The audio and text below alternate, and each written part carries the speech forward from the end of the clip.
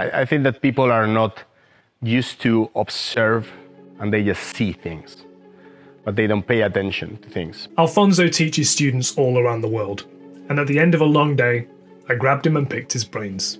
There were lessons in this interview for anyone in the miniature painting game, so without further ado, let me introduce My name is Alfonso Giraldes, aka Banshee. and say welcome to Rising Ape Minis. My name is James. Let's talk about inspiration. What inspires me the most is probably my my son. Often, what inspires us is what means most to us. That's what we fall back on when everything else runs out. Um, I'm not in a in a very inspirational mood right now, to be honest. I'm a little bit too tired, maybe because I've been traveling for so long teaching. Obviously, you know, I have like many things that I like related with fantasy worlds and science fiction that have inspired me all my life.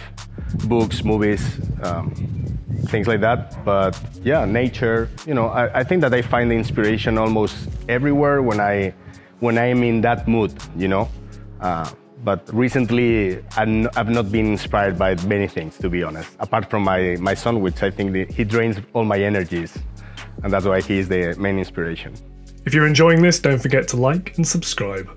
I just want to say a huge thank you to Banshee for doing this. At this point, he'd been teaching, socializing, and painting for over 48 hours, so he's absolutely knackered. But he wanted to give his time to share his passion. Thanks, mate. I appreciate it. Next, I asked him, after all his acclaim and awards, what does success look like now?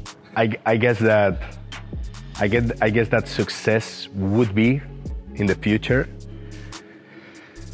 to be able to deal with the stress better, uh, not be that much concerned about how my workmates perceive me, because I, I I receive a lot of love and hate almost equally.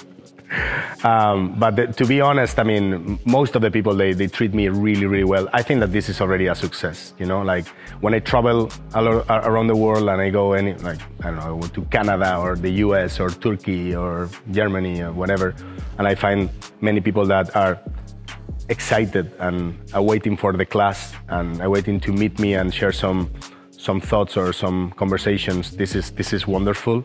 And that's something that I never thought I will feel myself. That this came naturally with my with the time, with my work, and with my passion and how I behave, being 100% myself and not hiding myself at any time.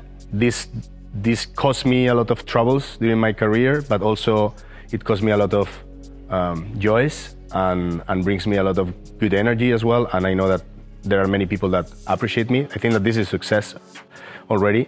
But of course, then having a sustainable financial situation, which is something that I am doing right now, but you know, I'm, I'm still not very used to it because I've been fighting for such a long time that you are always in doubt. You know, you're always exactly. It's like you never know when it will be, will end. Maybe, maybe it ends. Maybe it doesn't. Um, but I guess that success is being being calm and happy with yourself and proud of what you do and how you do it, and not having emotional depth with anybody. I don't know if this is something 100% possible, but definitely this is my this is my goal for the future. So there's a lot to unpack in that answer, but the two takeaways for me are that one, it's really important to find your tribe.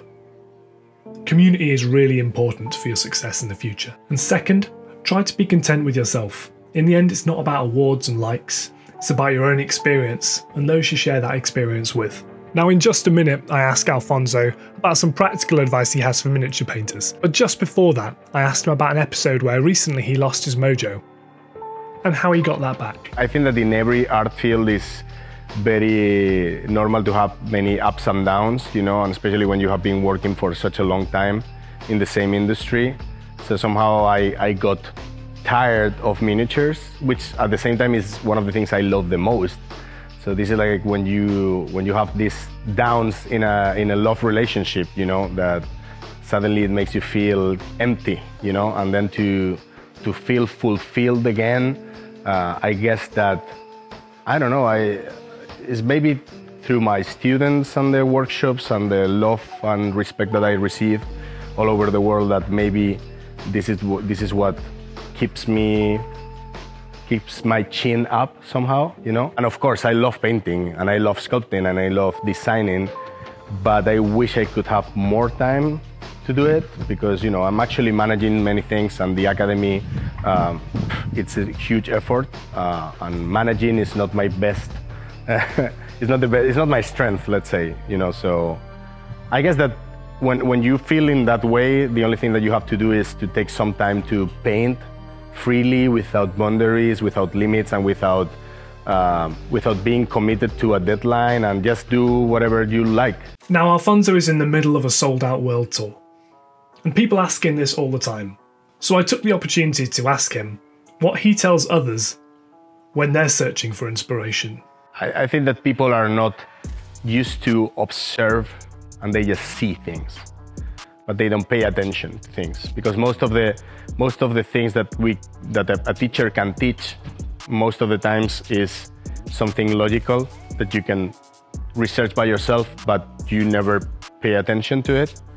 So, yeah, people are a little bit lost in this regard because we belong to a community that has been driven through a hobby um, mindset where everything has been done through certain recipes and step by step. And somehow I've been fighting against this for like 20 years uh, because I really think that the best way is to learn how to catch your own fish instead of like getting the fish from somebody else. So practice, guys. Just paint stuff. So that's th- those are like the, the, my personal goals and the goals of the Miniature Art Academy. You know, which is uh, teaching and showing the fundamentals and also showing every possible way to to to do your art, so that finally each student can find his own way. Because that's the main issue. The main issue is that when somebody tells you how to do something, uh, this is how they do something. But there are multiple ways of doing anything. So the more ways you know, the bigger is your toolbox and the more chances you have to find your own way, which at the end is the most enjoyable thing about feeling as an artist at least once once a week or once in a while you know uh, feeling your creative being and and being able to release yourself and, and to feel relief as well by, by doing what you love without having uh, preconceptions and, and, and pre-recipes told by anybody else, you know. So finding, finding your own way at the end is, the, is like the best advice. And then, of course, uh, observing, you know, uh, enjoying what, what surrounds you. You know, it's like life is beautiful and, and it's full of amazing stuff that we don't even pay attention. It's like you can see the leaves and it's so wonderful how many colors we can perceive, how many shapes and how everything is so harmonious, you know, and most of the times we don't even pay three seconds of attention, you know, so as long as somebody helps you to, to see that, people find more enjoyment, which is all about this art, you know, enjoying. And what advice do you give to people who want to be a better painter like you? well, at the end, experience means everything. You know, it's like I really I believe in talent. Definitely, there are people with more talent than others. That's that's for sure. But you can reach to a certain very high level by practicing, observing, and being honest with yourself, which is something difficult nowadays with social media because we we are all based on success. You know, it's like social media tell us that we have to have the best holidays, the the, the best uh, super packed body and the best beautiful husband or wife uh, next to us and to eat the best food. And that's not real life you know?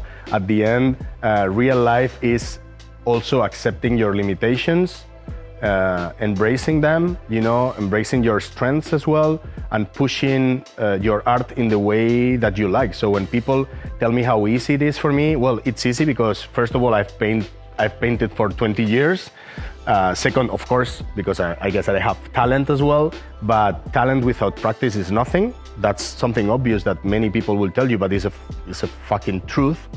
And also, uh, is what I say, observing, learning from others, you know, uh, being able to get inspired by anybody else who does something different to you, not rejecting any other style. You know, I always propose people to try different styles, try different ways, because sometimes you don't know you like something until you try it. So it's like, to me, I always say the same, like, uh, art is is like masturbating you know it's a it's a self pleasure you know and you have to find a way to enjoy it by yourself it's not that i don't give a fuck but I do it for myself, you know, and, and I take the decisions that please myself and that please my soul somehow. Honestly, the more I listen to that, the more inspired I am. I hope it's the same for you. If it is, you can show your love by liking and commenting on the video. But life isn't just about painting. So I asked Alfonso what brings him joy outside of the hobby. Atletico de Madrid, I think is the main thing. However, I don't feel it in the same way I did maybe because I, because the the kid um, now it's I mean now he's so important right now, and I, I I guess that for the future as well that everything else became less and less important. So I don't have uh, to be honest I don't have many hobbies. You know it's like I love battle raps or rap battles. Uh, I love music. This is these things inspire me, or let's say like drive my mood somehow, um, and accompany me as well depending on how I feel. Um, but yeah, I mean, the thing that I love the most of the all the unimportant things is probably Atletico de Madrid because it's difficult to explain. I guess that everybody feels the same with his team, but it's a different mindset. It's like we are not we are not the losers, but we are not the winners. We are always like the underdog somehow, and I love this. I love this feeling of being the underdog because that means fighting for what you wish that much. You know, I know I'm I never won the Champions League, but it's a, it's a dream, and I don't know if I will be I don't know if I will be happier if I had 10 Champions League with uh, in my well not not in my cabinet, but you know my team have it. Um, so that constant uh, goal, and then when you fail, you stand up again, over and over again. I think that this is a kind of mentality that fits very well with my personality. Now, if you're subscribed, you know that I ask every painter this question. So, Alfonso, do you lick your brush? No. Well, I lick brushes when I want to make the the tip very pointy, but I don't I don't lick paint because I know it's not it's not something very healthy. However, you know, I paint my hand constantly and you know, I touch things that I shouldn't be touching, you know, because they are probably dangerous. Uh, but yeah, I'm, I'm, not a, I'm not a, a constant uh, brush licker, let's say. Thanks so much, Alfonso. If you want to see more of Alfonso's art, and you should, you can find Alfonso's links down in the description below. And you really should check out the Miniature Art Academy.